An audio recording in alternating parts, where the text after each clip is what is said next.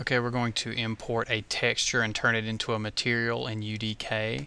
First thing we want to do is open the content browser, click import, and we need to navigate to our textures that we want to turn into a material. Here it is.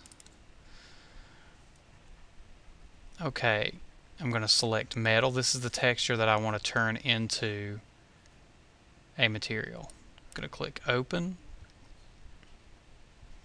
And we will call this package my package. Oftentimes it will name it that by default but you can call this package whatever you want. We'll group it by texture. This will create a folder called texture that it puts this metal texture into. And then I'm just going to click OK to all. Sometimes it takes a few seconds. And there's our metal texture now, let's right click, create new material, and here my package pops up. But this time let's group it by material. This will create a new folder called material for our material. Okay. Now I'm going to double click this new material.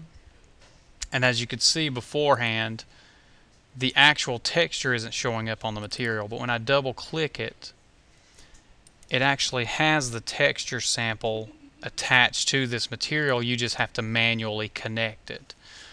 You have to press control to move elements around in this window.